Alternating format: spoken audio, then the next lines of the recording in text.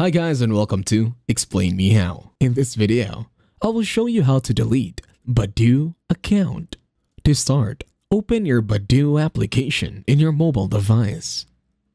Once you are now in Badoo, select your profile on the bottom right. Then select Settings. On Settings, select Account. In here, you'll see the option that says Delete Account on the bottom corner. In here, select the reason. Just go delete your account, then select Continue. On the bottom, select No, delete my account.